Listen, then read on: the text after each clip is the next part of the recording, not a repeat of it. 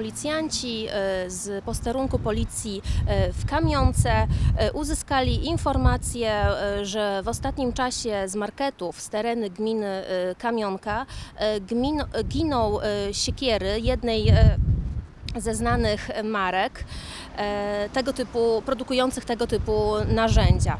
E, Tutaj policjanci rozpoczęli intensywne czynności mające na celu ustalenie sprawcy właśnie e, tych kradzieży i jak się okazało, okazał się nim e, 61-letni mieszkaniec Dęblina, który właśnie ze swojej miejscowości przyjeżdżał w rejon powiatu lubartowskiego i tutaj na terenie marketów w gminie Kamionka, ale także jak się okazało właśnie podczas tych czynności także między innymi w gminie e, Firlej, e, kradł e, te wspomniane narzędzia, właśnie te siekiery.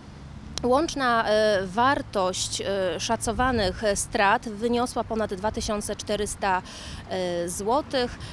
No, mężczyzna został, został zatrzymany, odpowie za kradzieże już wkrótce przed sądem.